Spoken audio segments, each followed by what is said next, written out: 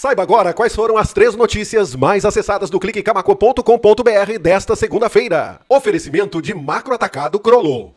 A notícia de número 3 é que moradores do interior de Camaquã levam equipamentos e produções perdidas para cobrar medidas da CE Equatorial.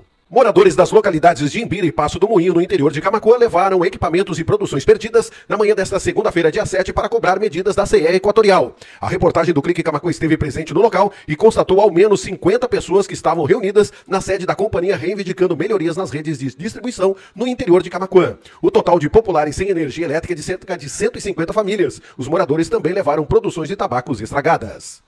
A notícia de número 2 é que o PP é o partido com mais prefeitos eleitos entre os municípios da Associação Costa Doce. Entre os 13 municípios que integram a Costa Doce, o Progressistas foi o partido com maior número de prefeitos eleitos neste domingo. Foram cinco do PP, quatro do PDT, dois do PSDB, um do PSB e um do MDB. O PT elegeu prefeito em São Lourenço do Sul, que embora seja próximo, faz parte da Azona Sul, outra associação de municípios da região.